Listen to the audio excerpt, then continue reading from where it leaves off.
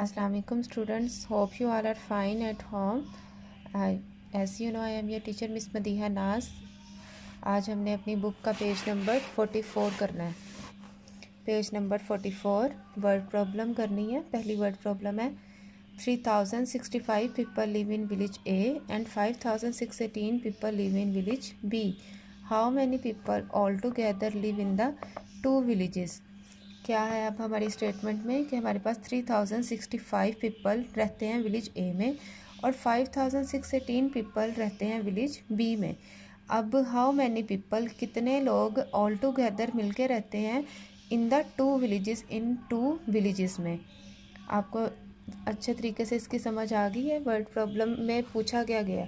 अब हम इसे सॉल्व करते हैं। सबसे पहले आपने अपना स्केच प्रिपेयर करना है नोटबुक के ऊपर नोटबुक पे स्केच प्रिपेयर करने के बाद आपने इसे अब सोल्व करना है। देखें कैसे करेंगे। Three thousand sixty five people live in village A आपके पास इतने लोग रहते हैं विलेज ए में। तो यहाँ पे लिखेंगे people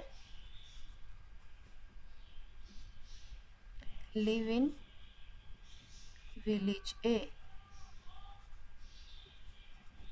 कितने लोग रहते हैं आपके पास? Three thousand sixty five clear है? उसके बाद नेक्स्ट है हमारे पास people live five thousand six eighteen people live in village B यहाँ पे अब लिखेंगे people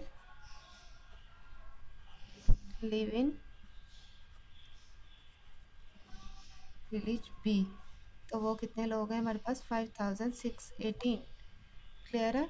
अब इसके बाद क्या करेंगे? नेक्स्ट स्टेटमेंट में क्या गया? How many people all together यानी कि अब पीपल